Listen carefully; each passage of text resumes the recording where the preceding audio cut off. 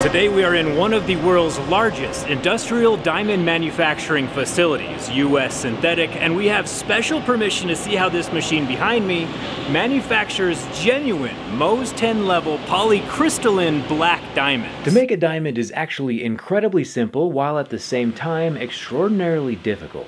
The first ingredient, if you're following along at home, is a baggie of monolithic diamond polishing powder. We know that diamonds form under extreme heat and extreme pressure, which is true. But also we need a dash of cobalt from this piece of cobalt cemented tungsten carbide. Now that we have our ingredients secured into the thimble, the giant press is able to create two diamonds at a time, using, and this is true, clean white table salt to center the two diamond molds inside a metal cylinder.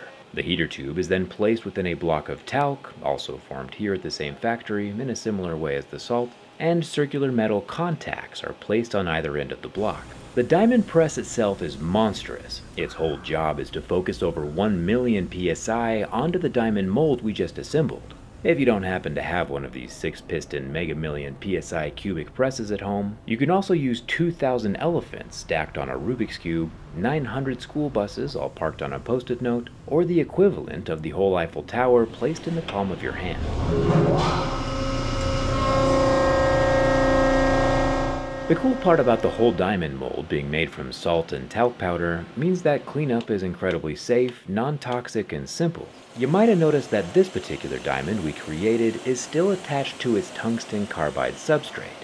In most cases, this tungsten carbide base doubles as a mounting location for each individual tooth on the drill head. But we can also grind away the tungsten carbide base completely, leaving behind just the black diamond. Moment of truth, it's time for a scratch test. We have our Mohs 9, and it should leave no marks on the surface because the only thing that can scratch a diamond is a diamond. There are no scratches at a level 9 and zero deeper grooves to be had.